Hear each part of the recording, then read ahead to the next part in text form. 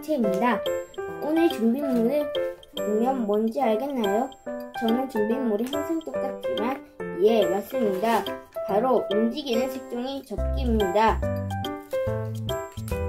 이것처럼요. 이렇게 승리다. 그럼 바로 접어볼까요? 먼저 자기가 접고 싶은 색종이 색 한 장만 있으면 됩니다. 그리고 자기가 하고 싶은 색종이를 이렇게 뒷면으로 하고 제일 먼저 펜으로 한번 접습니다. 그리고 아이스크림 큰 접기를 할 겁니다.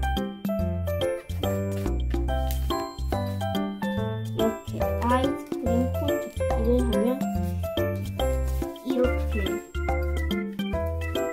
이렇게 접히죠.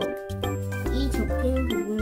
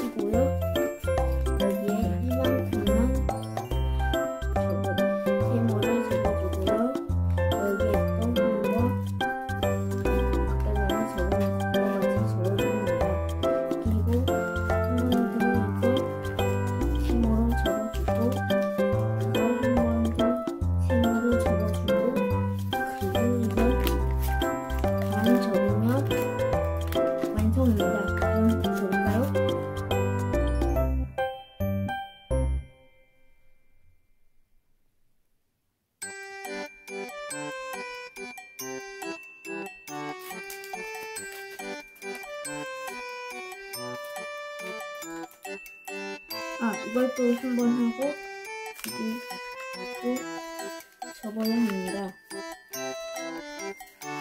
그러면 이렇게 되는데요. 자, 이렇게 바로 올라옵니다. 이것도 신기하죠? 그럼 다음 시간에는 더 신기하고 재미있는 video 보여드릴게요. 안녕!